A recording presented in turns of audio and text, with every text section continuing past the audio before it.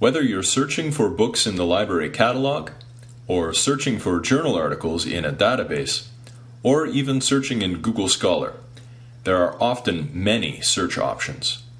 But you can get by with using just a few. Think of these as different characteristics of an item. Like songs in iTunes, which can be found by searching by artist, album title, song title, year, or genre. Books and journal articles can be found by searching by title, author, year, subject, and other fields.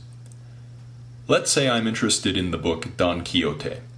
I don't want to read the book Don Quixote, but rather stuff written about the book Don Quixote.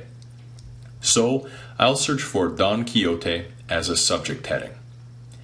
And similarly, I may be interested in the author Cervantes, not in books written by Cervantes, but rather in things written about Cervantes.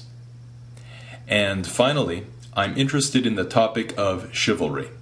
I don't know if there is a subject heading for this, so I'll just leave it as a keyword. For more assistance, visit a library research help desk